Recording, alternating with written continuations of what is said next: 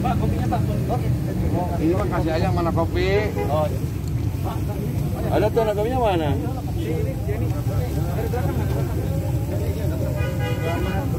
Ya. Ulangi Pak. Nambatan. Dilamat ya. Nah, Ayo barang. kasih Pak di belakang. Ayo barang bisa kali mana? Bisa bisa kali bakar.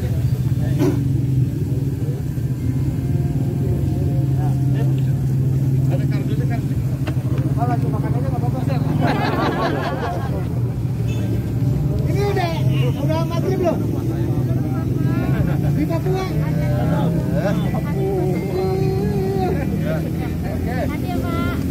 BPBD Pak. Pak. Jangan dulu, dulu. Dulu.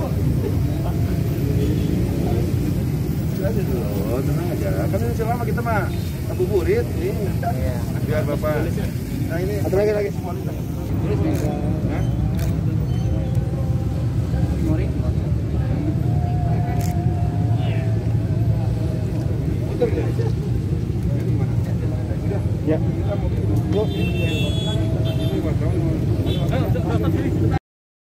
Ya hari ini hari ini kan eh, kita nih eh, udah rutin ya untuk masalah persiapan pos pengamanan eh, Idul Fitri di Bogor ini ada 18 ya Pak? 27 titik dan memang yang sentral itu di daerah Gadok sini. Dan kemarin juga ada Pak Menteri Menhub memastikan kesiapan kita untuk pelayanan terhadap pengamanan eh, libur atau mudik ya kalau puncak itu kan nanti ya. Kalau saya lihat hari ini kita melihat eh, bagaimana posko ini udah siap siaga dan puncaknya itu nanti pas eh, mungkin H-1 dan menuju ke H plus. Nah itu yang memang menjadi permasalahan yang cukup lumayan berat lah.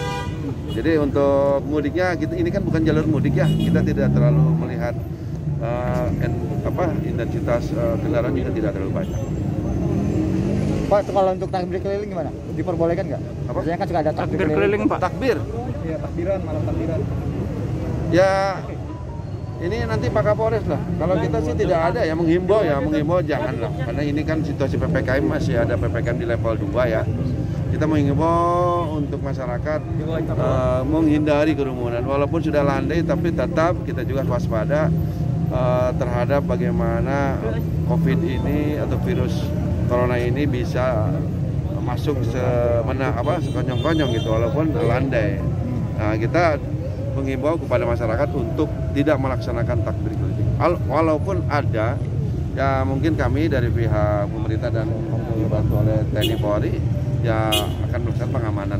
Ada Pak, jalur alternatif kesiapannya seperti apa Pak? Jalur alternatif eh, beberapa minggu yang lalu di rapat koordinasi kita sudah instruksikan kepada PUPR dan juga dinas lain untuk merehabilitasi, memelihara jalur-jalur alternatif yang jalan kurang bagus supaya bisa dilaluin eh, para pemakai kendaraan yang macet di puncak ini melalui jalur. ini. Insya Allah udah udah udah baik lah karena kita udah PUPR udah dua minggu yang lalu ya jalan-jalan yang rusak untuk dipakai menjadi jalur tikus atau jalur alternatif bisa dipakai dengan lancar tapi untuk kendaraan pribadi Pak ya?